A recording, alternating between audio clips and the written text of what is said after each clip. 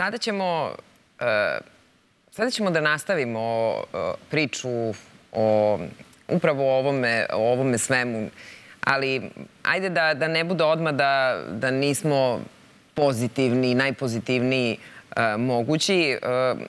Svi znamo ko je Lana Jovanović. Ona boluje od spinalne mišićne atrofije i sećate se da je otišla na lečenje u Ameriku krajem prošle godine i ona je primila taj najskuplji lek, Zolgensma. Međutim, onda smo uh, krenuli da čitamo po medijima da joj se stanje uh, poboljšalo, počela je da sedi. Roditelji su, kažu, dobili nadu da će Lana živeti koliko toliko normalnim životom. I onda posle te neverovatne radosti ona se razbolela. Ta vest nam je stigla. I stvarno nas je interesovalo šta se tačno desilo i kako je uh, Lana sada, šta kažu lekari u Americi. Uključit ćemo ovoga jutra Laninu mamu, Aleksandru Jovanović. Ona nam se javlja uživo iz San Diego. Uh, mnogo vam hvala što se uključujete u naš program, ali mislim da je veoma važno da objasnimo uh, ljudima u Srbiji šta je to što se dešava, da kažete istinu, da nam objasnite kako je Lanino stanje i nekako da razgovaramo o ovome zato što e, se uključila Srbija i za lečenje Lane i za lečenje malog e, Gavrila, pa eto s tim u vezi interesuje me kako je, kako je Lana sada. Prvo, veliki pozdrav za vas Jovana i jako mi drago što ste nas pozvali.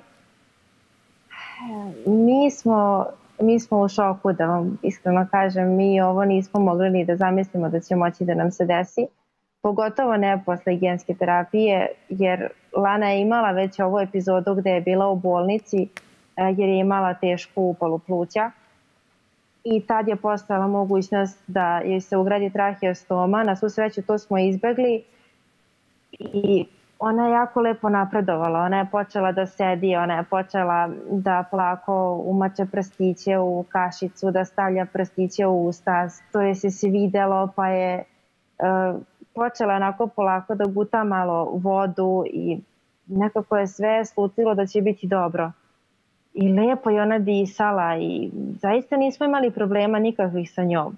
I ja se to kod nje sve išlo onako malo donekle spori nego možda kod ostale dece, ali to su rekli doktori, to je zato što ona tri meseca je ležela u bolnici bez ikakve terapije, bez ikakve fizikalne terapije, okupacijne terapije, prosto tu se malo telo ulenjilo.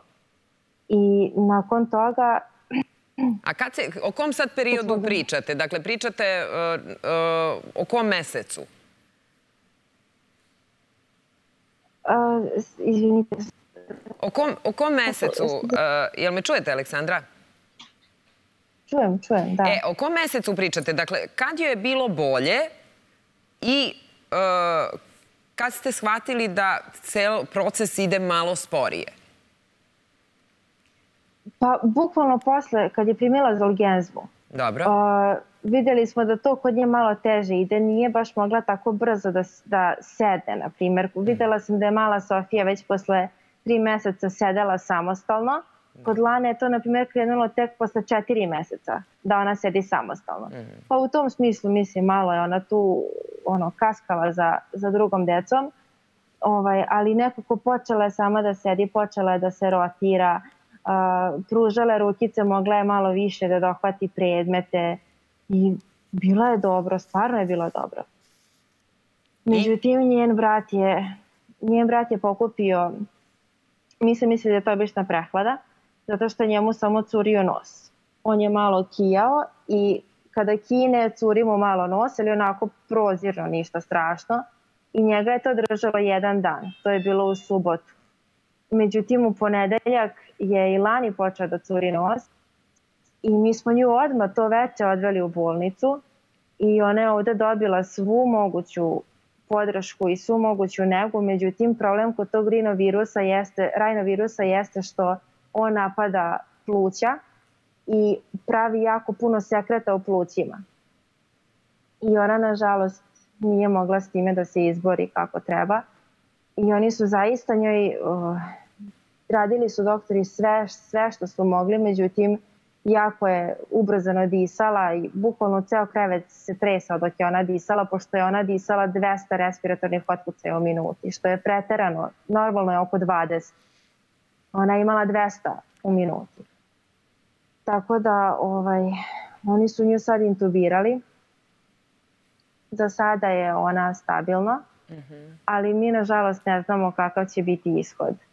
A, da li će oni njoj ugrađivati traheostomu ili ne, to ćemo tek da vidimo u narednih par dana kada probaju da je izvade, pošto su nam rekli da kod SMA dece uh, izbjegavaju intubiranje zato što su njihova pluća i ovako usporenog, usporena su dosta, prosto mišići nisu toliko snažni i onda neće, ne žele da ih intubiraju da se mišići ne bi još više, dodatno još ulenjili.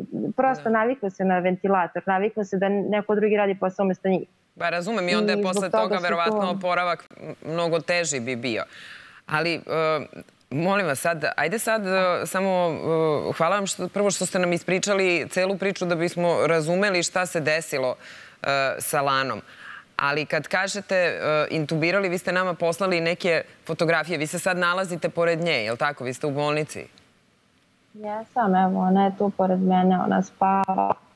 Oni su sedi da bi ona bila mirna, uh, da bi ovaj tubus bio u njenom grlu i da bi radio svoj posao, a, potrebno je da ona bude 100% mirna i da ne čupa to iz usta i da prosto da on može da uradi posao koji mu je zadat spava nesirana, vidite tu nas su svi mogući da. aparati, ekrani.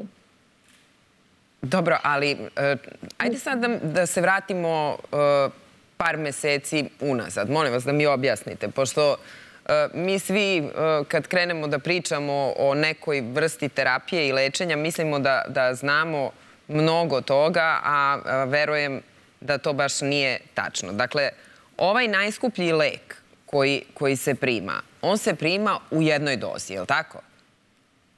Jeste, da. Jednom u životu se primi. Jednom u životu se primi.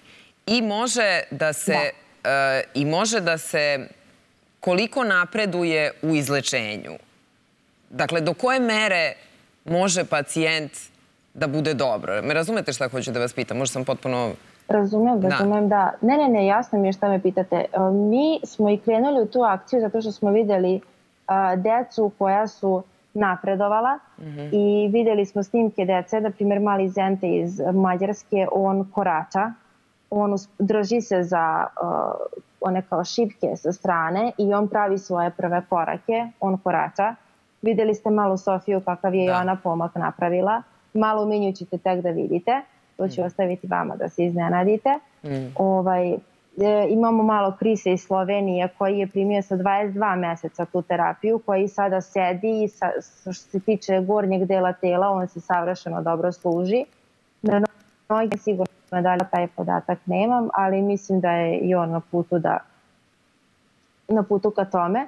Hoću da kažem da um, mi smo želeli za naše djete najbolje i mi smo želeli da ona dobije svu moguću terapiju i sve, sve što može da je se pruži, da je se pruži. Kako će ona da napreduje, to zavisi od deteta do deteta. A, problem kod Lane jeste što je bila ta tri meseca u bolnici i to je nju nazadilo mnogo. A, I sada taman kad je krenula da napreduje, taman kad je počela motorički da bude jača, onda je se desilo ovo. Tako da, nažalost, kod nas je uvek neki maler koji nas vraća deset koraka unazad i da, pa... da nam se ne da da, da krene na bolje. Pa znate šta, nemojte tako da, Ali... nemojte tako da razmišljate. Nekako mi se čini da, uh, da, da, da ljudi kada razmišljaju što je moguće pozitivnije, da, da, da im se i dešavaju uh, pozitivne stvari. Ali prosto imate imali ste, uh, imate dete pored, decu pored, dakle, uh, neminovno je da, da se desi rinovirus, deca preleže na nogama, što bi, što bi rekli. Samo je problem ovde, evo, u ovom slučaju, što je prosto lani oslabljen organizam. Ali posle koliko meseca se vidi pravi efekat tog leka? Dakle, kad prođe ovo sve lani i nadamo se da će sve biti najpozitivnije moguće, kada bi Lana trebalo da pokaže e, u stvari on, ono stanje koje dovod, do kojeg dovodi taj lek? Nama su doktori rekli da ovaj lek pokazuje najbolje rezultate od šest meseci do godinu dana. Znači, suštini da. kod nje bi lek trebao tek zaista da pokaže onaj svoj pravi efekt. Da, e su, e sad, a su zabrinuti lekari zbog ovog sad stanja njenog? U smislu, e, da li to može da smanji dejstvo leka? Pa, Da vam budem iskrena, nama je sada jedini problem da li će ona biti traheostomisana ili ne. Da. Sada o tom njenom motoričkom napredku sad, iskreno kažem o tome, sada ne razmišljam ni ja. Mi sad imamo mnogo veći problem, a to je ako bude došlo do toga da je stave traheostomu, a, imamo jako veliki problem što ćemo morati onda da ostanemo ovde još sigurno jedno mesec dana, znači Lana će morati da bude mesec dana u bolnici svaki dan a ovde vam je za nas koji smo bez osiguranja 16.000 dolara jedna noć, jedna dan, jedan dan. 16.000 dolara? Mm, dan u bolnici? Da, da, na intenzivni nes. Tako da smo mi u jako velikom problemu i pa mi dobro, sada ali... želimo da se da. što pre izvučemo odavde, kako god znamo i umemo. Mi smo sa Budimpeštom i oni su zaista jedni divni srdačni ljudi koji su nam e, rekli da će nas primiti čim mi budemo mogli da ovaj dođemo, ovaj, da će nas primiti da što se na, njih tiče, oni imaju, mi imamo zeleno svetlo da dođemo kod njih kad god možemo. Tako da mi sad čekamo da vidimo kakav će biti ishod sa ovim tubusom kada budu joj vadili A dobro, evo samo za kraj da vas pitam, mislim, znam da je, da je neukusno, ali znam da uh, smo prosto, uh, cela Srbija je skupljala novac za lečenje uh, Lane u tom trenutku i čini mi se da, da sad mi nije jasno kako ćete da platite ovo bolničko lečenje na kojem je Lana trenutno. Pa mi imamo još nešto para na fondaciji. Dobro to je sve sa fondacije, ali ono što je problem jeste što ako mi ostanemo ovde još duže, nećemo imati dosta para. Pa šta se radi da u Americi u slučaju da vi kažete imam novac za 5 dana lečenja, 10 dana lečenja, a dete vam je u bolnici intubirano, šta se radi u tom slučaju prosto? Ne znam. To je ono što nas plaši, ne znam. Iskusit ćemo. Da.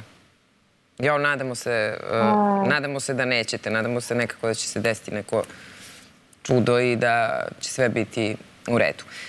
Aleksandra, uh, znate da smo vam tu, uh, čujemo se, vidimo se šta god vam treba, mi smo u mogućnosti da vam pomognemo, na raspolaganju smo. Hvala, zaista i, i drago da da ste svi uz nas, zato što nam zaista sada nam više nego ikada treba podrška i eto, molite se samo za nas da, da ovo ispadne sve kako treba, da mi što pre dođemo u Budimpeštu i da šta god da treba tamo da nastavimo. Da. Mnogo vam hvala na uključenju. Hvala vama.